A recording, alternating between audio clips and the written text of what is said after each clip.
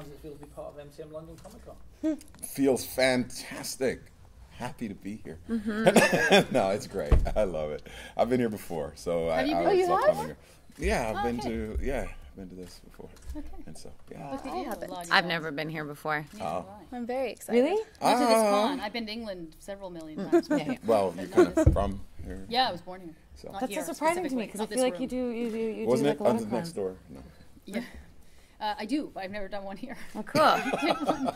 we'll just stay here for the rest of it. I did one in Nottingham, you know, with Robin oh Hood. yeah, yeah. Yeah, Wait, but not here.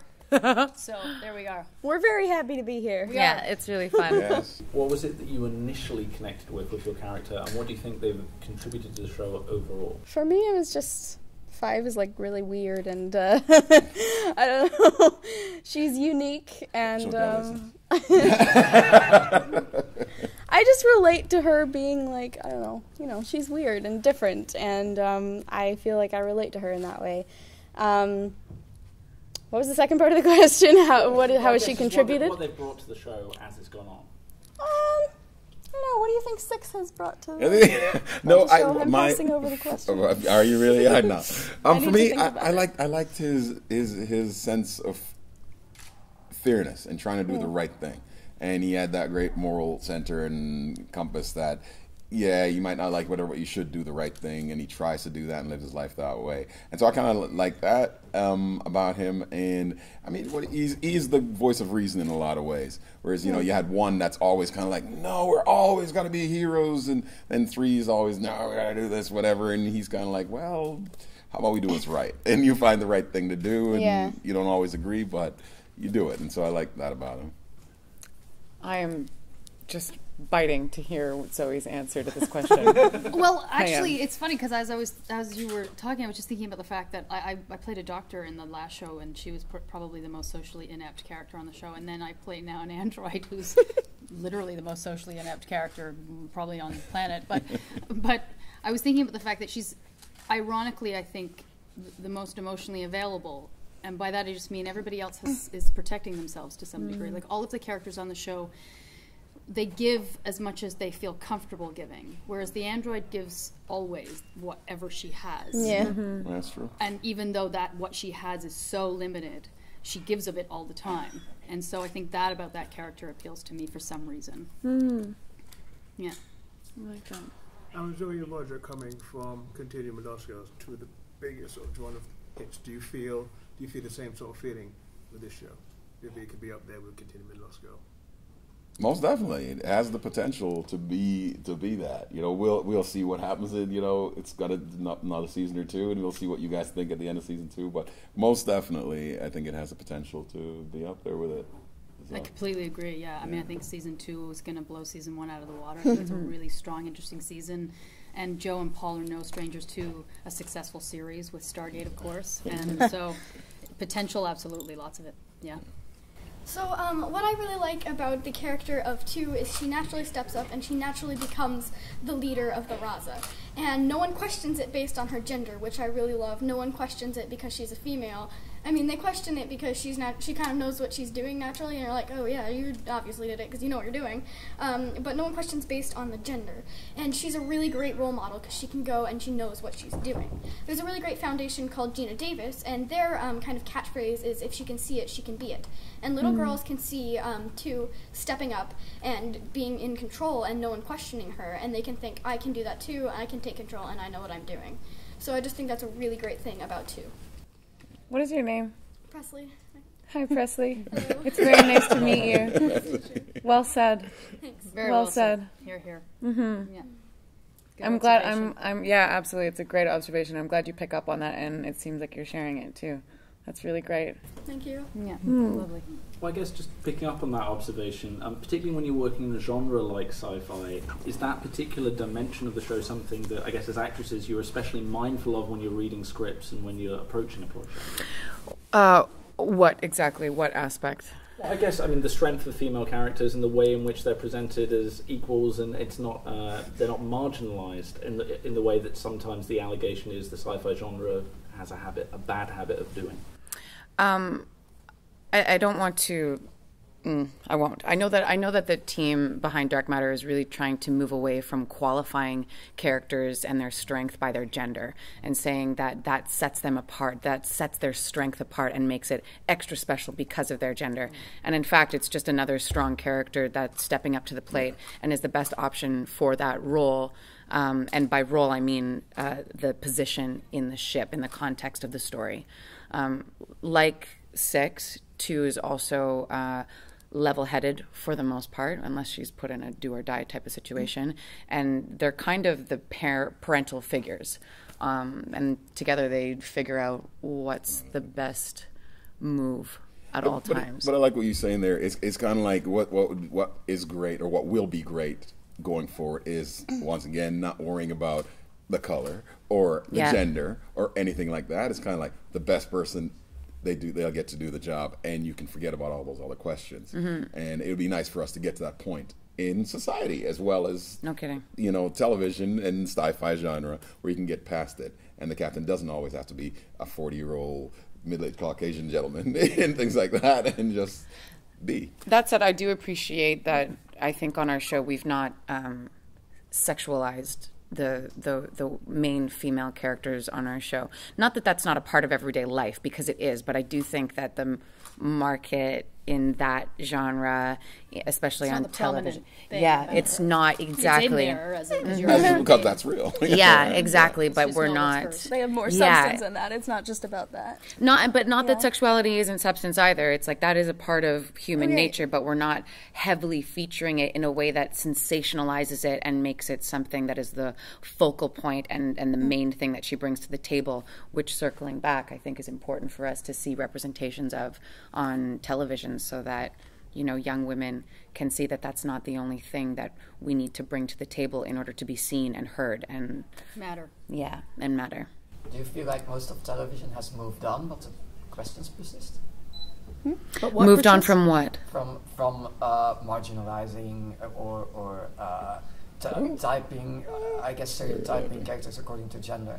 Because, We'll, we'll, we'll it always comes face from- there's from- there's always some of that you Of know course. if you look Yeah. at it but if you look at television right now it's a great time to be a female lead female Yep. so many lead females on there kicking butt Mm-hmm. and doing their thing so it, it I think it's most definitely grown in that way and moved on color thing we still got to work on but don't want to get into that uh, that bigger issue there but um, yeah, yeah definitely we've definitely come a long ways Yeah. think that there's a, I guess, worry that with lead female characters that they will just be portrayed as one of the guys and that females can't showcase their femininity as well as be a kick-ass character. That's really interesting you bring that up because I think that that comes back to uh, a, a writer's room. Um, and I think that it's important to illustrate an entire picture of a woman. Um, and that's hard to do. I mean, I think on our show we have a good representation, especially of the, all of the different ways that femininity can be expressed. You know, we have a young woman on the show, and we have a woman on the show, and we've also got an android who is like a female, and she's feminine in her own way. Like she's got her own thing going on, and we explore. I can't say a lot about it, but we explore that in season two as well.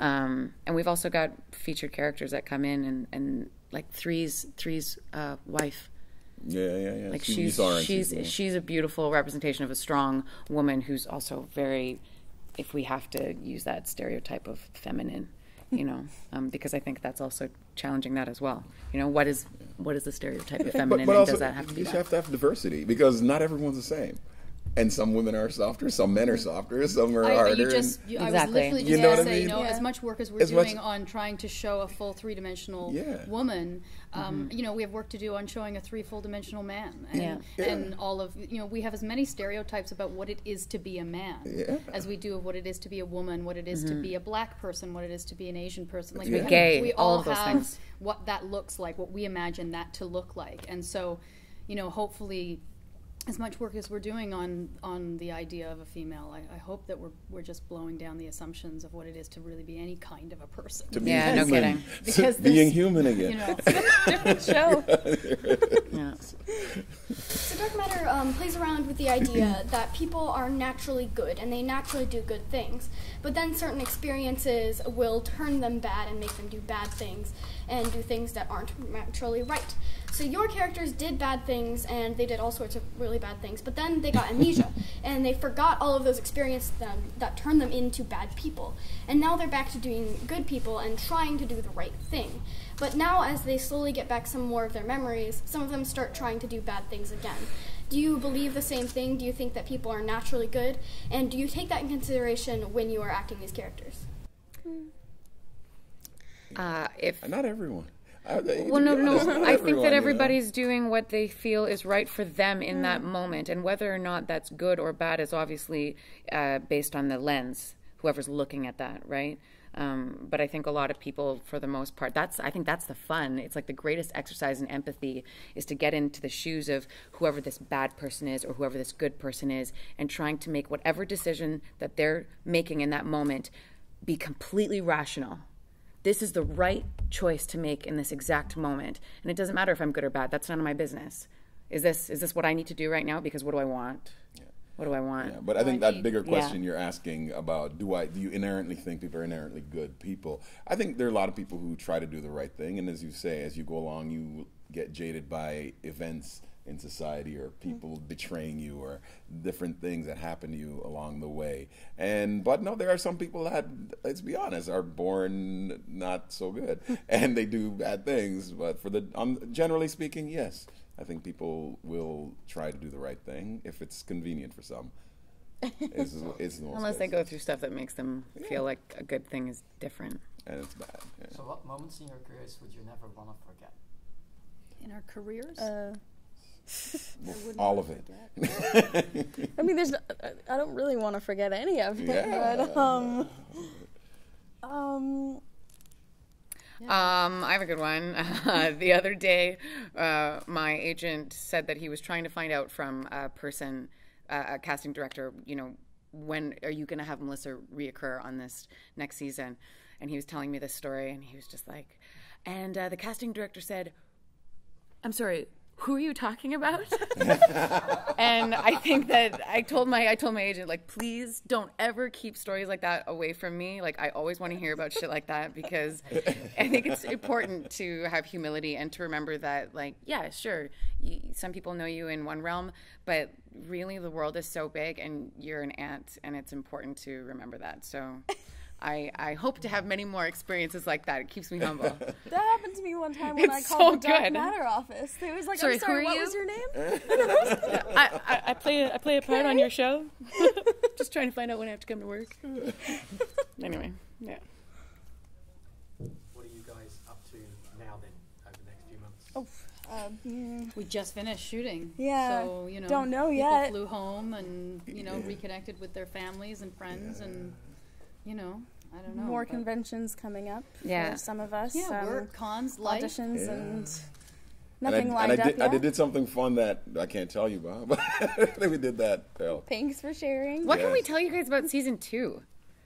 Well, first of all, we air July first. July first. July 4th over here in July fourth. Is it July fourth over July here? 4th in Okay, good to know, good to know. July first or July fourth. It's one of those four days. Please look uh, look Just for watch it. your TV every day for four days.